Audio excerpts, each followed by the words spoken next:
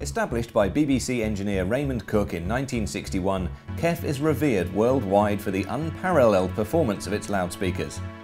Combining innovation with an uncompromising attitude to quality, the company has been a market leader for almost 50 years, giving it an unrivaled pedigree. KEF's goal has always been to make a loudspeaker that is capable of reproducing recordings so perfectly that they sound indistinguishable from the real event. The all-new Q series has been developed from the ground up to achieve just that.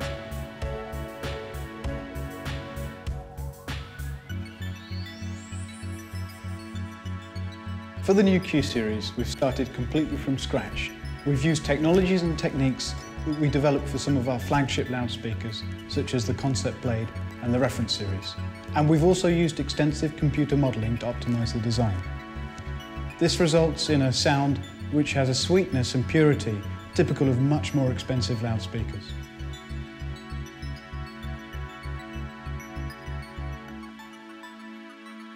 The UniQ array is a core piece of KEF technology. It's been in every version of the Q series.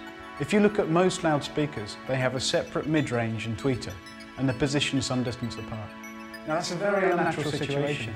It's, a bit like if you imagine somebody singing, but they have two mouths.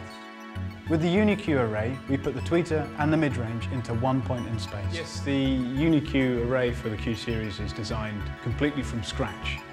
Uh, probably the most exciting thing about it is the new tweeter.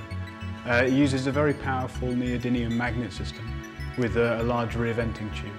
Uh, we have also got a tangerine waveguide on, on the front, which is new design that we've been working on, which we're very happy with. The, the mid-range system uses a very large magnet system and it has a very high excursion capability.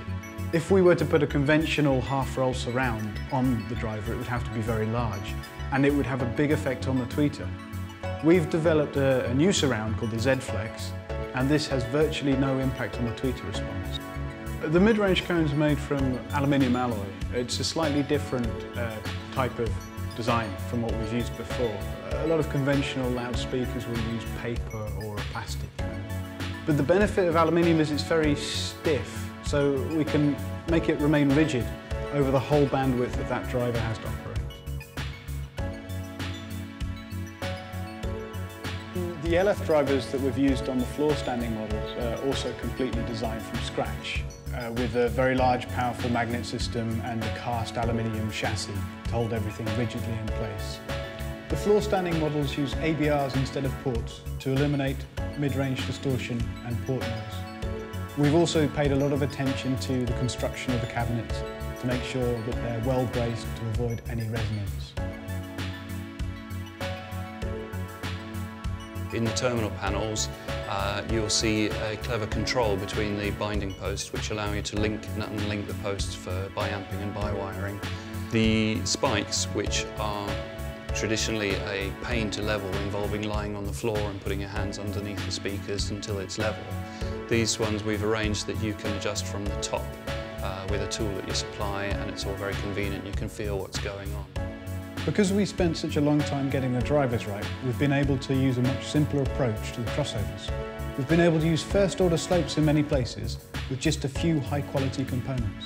This means that there's much less in the signal path between the amplifier and the listener.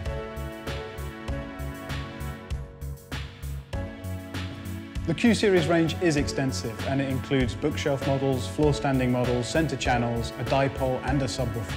And this is so that it caters for everybody's needs. It, no matter what size the room is you're listening in, no matter what type of music, or even for people who want to put together a real killer home cinema. I'm proud of that we have a very low distortion in the speakers and a very high dynamic. It gives a very, very uh, wonderful sound. It was apparent early on when we were listening to early development samples that we thought oh, we're, we're actually uh, leapt, some, leapt some edges here. I think all that has been involved in the project is quite proud of.